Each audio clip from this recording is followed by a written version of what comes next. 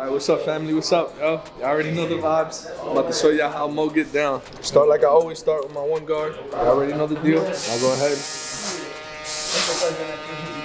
So everybody keeps asking me, they, they want me to start showing my face system. They want to know how I do it, how I'll be able to be more efficient. This is one of the ways. I start with my one close, go right ahead. As soon as you saw I went from the left to the right, now I'm going from right to left, going with my one guard open. So using my one guard open, I'm taking advantage of what's in my hand. At the same time, using my chair to my advantage. I'm not moving my position, I'm not moving my feet. The chair is doing most of the work for me. I'm going ahead, I'm flicking the wrist as well. My new favorite clipper, I know you guys saw me use the JRLs a lot with the Gamma blade on them. Just I've been using my instant clipper way more. It's just so much more efficient for me, so lighter. I like the way the feel, the motor is quick as well. The only thing I don't like about it is that the battery life ain't that long, but it is what it is. Everybody got their preference. If you notice right here, I have all my guards accessible. Like when I told you guys, I, I go off for color. So I got the red, I got the I got the black, I got the the gray. I look at my colors. I really don't focus on numbers. If you can't see, I can't see the numbers. I can't see anything, but I focus on the colors. That's what helps me with my efficiency, help me work quicker and move faster. Right, check this out. I'm using my one and a half guard now. So remember, I use my one, now I'm using my one and a half guard. I start open.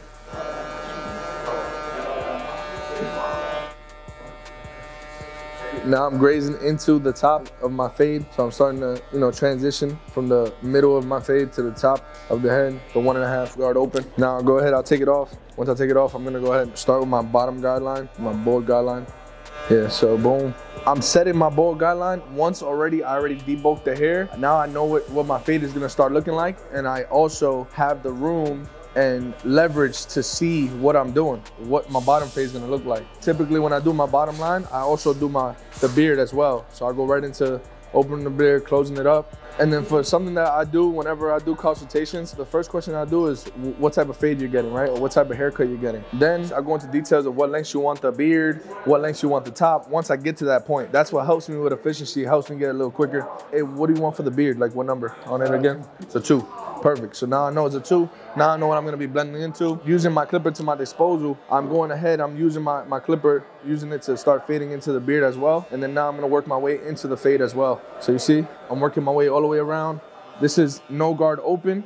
After I set my first guideline, going into that one, that one portion, that one and one open, that's what I did from the beginning, as you guys saw. But if you see, using this system is what helps me do my fade in about five to, to 10 minutes, getting my fade part done. Now, this is what helps with the efficiency. You see, I'm using my tool to my disposal. If you notice, I'm using what I can, using what I have in my hand already, and also using the chair to move it around. I go straight into my trimmer. If you notice, I did not move them from here because I'm using it to my disposal, what I have in front of me. So I'm gonna go ahead, use my trimmer to start debulking and taking off the bottom portion of the fade. This is going to be the skin part. I go ahead, and if you notice, I'm not setting no hard lines, but using this Gamma Saber, it is definitely like butter when it comes to cutting off this hair.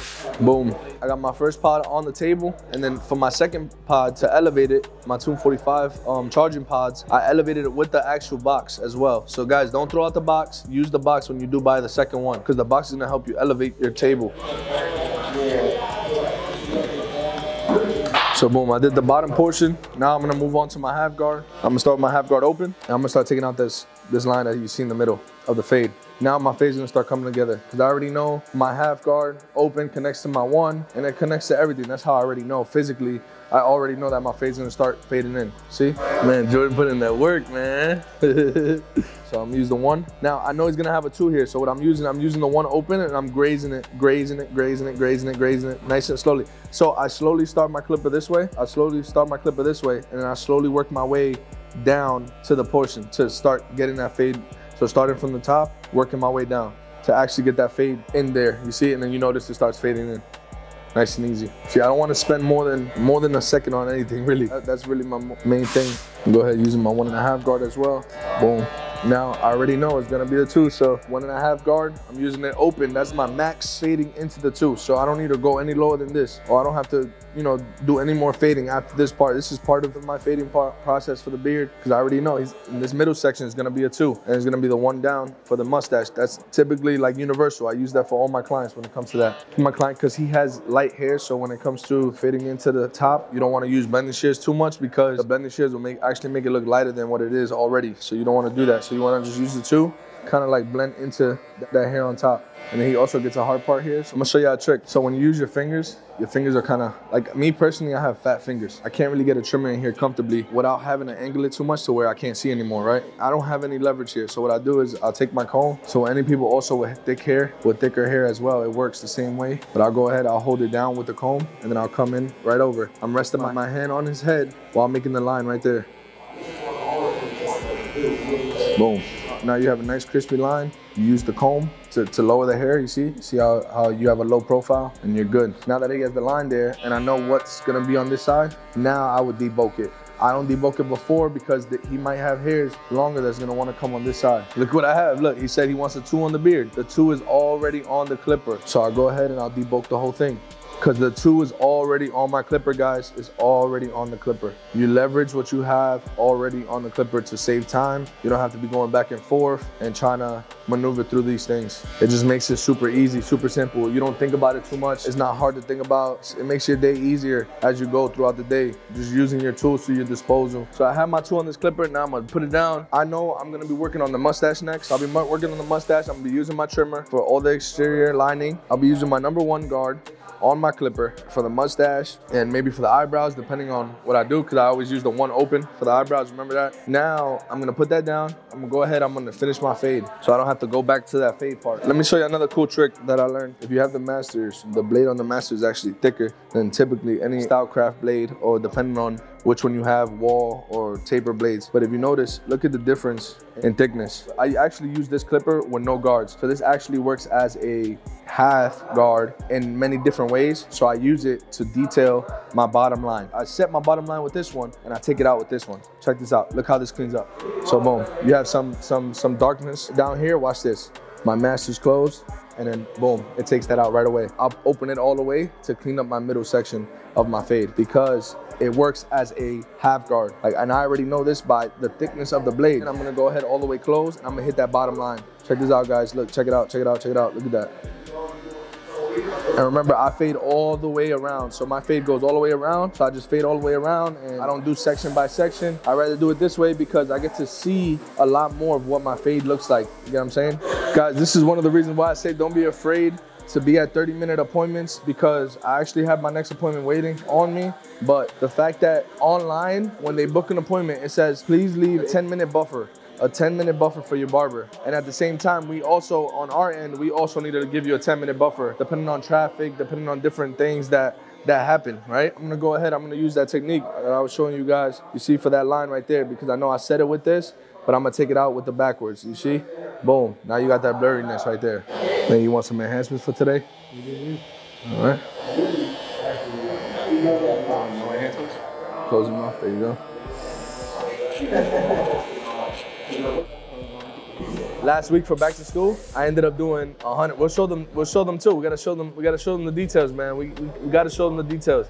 But I ended up doing 156, 156 haircuts last week when I was averaging 100. But since the back to school, that back to school kind of kind of hit us hard. So I had to do do what I could to, to make sure I had everybody taken care of. Mo went crazy for back to school. That's what he made for the week. Fifty-four hundred dollars. Lord, a thousand, thousand, fourteen, nineteen, fifty-five, fifty-six. Business is booming. And that's in one week. This is the Bexley location for the booming. All right, guys, I want to let y'all know if you do not know about Pi Accounting, make sure you go to piaccounting.com and go on there. You'll be able to get financial services. And they're literally a financial advisor and accounting firm for barbers. So they will literally help you with everything you need. They will turn you into an S Corp because you can either be a LLC, S Corp, whatever you want, but S Corp is the way to go. They help you, they give you the details on how to do that. It saves you on taxes, it helps you financially, they give you financial goals that you want to want to reach. They help you get there, they plan you, they give you a plan, they meet with you every quarter, like every three months of the year. You're gonna be talking with Hold a on, couple on, of them. Don't tell them everything, bro. Listen, go to pieaccounting.com, schedule a consultation call, and one of our accountants definitely gonna talk to you, let you know all the amazing things that Pie Accounting has for you. You know, we're helping barbers make this a real career, a real profession, benefits, buy your, your first crib, all Yes. that, man. Just I was able to buy my second property, but my first property in Florida. So yeah, we're barbers, we're not CPAs, as you can tell the way we fumbling all over this. But go check out pieaccounting.com. let's go.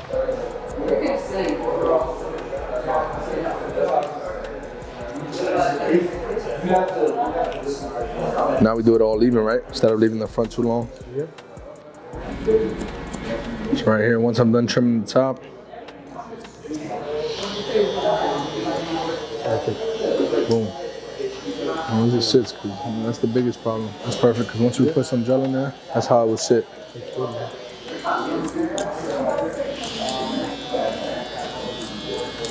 Sometimes when it's heavy on one side, on this side I use my thinning shears to just kind of get that line out the way. Blend nice and smooth into the hair, see? It ain't easy being quick and good at the same time. It's not easy, guys. I'm trying to stretch the neck out a little bit if you can.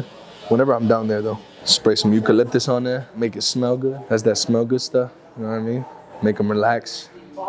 Also, is a stress reliever as well. Spray some eucalyptus on his nose. Also keeping the nose exposed. That's the biggest thing. I massage the face with the hot towel on it while it's hot. And then I'm gonna show you something while it cools down. I go ahead, and I massage the shoulders. And another cool thing I'm gonna show you right now. So using the Vibe Effects, Babyliss Vibe Effects, I'm gonna go ahead, and I'm gonna put it on the chair and I'm gonna rest it on my on my leg and it actually massages the chair.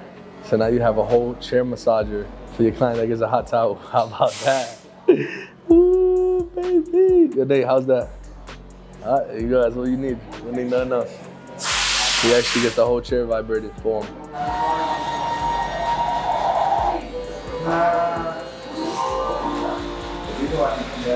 And also being light with the razor also helps as well. My clients barely even feel it. I'll go ahead. I'm put some. Uh, I'll put some aftershave. Razor bump soother. It's made with tea tree and uh, oil and lavender. So I'll put some of that on. So I sell beard oil. The same beard oil I sell, I go ahead, I apply to my client's beard as well. That's part of that the hot towel service. Nice rubbed in, nice and silky smooth. That no drip.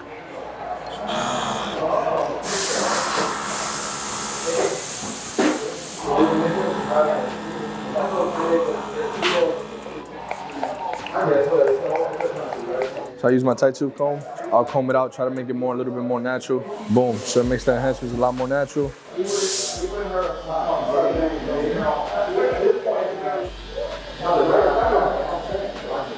I gotta use the Joshua P comb. You all already know. Go to go to Josh OP website. Make sure you go get this comb.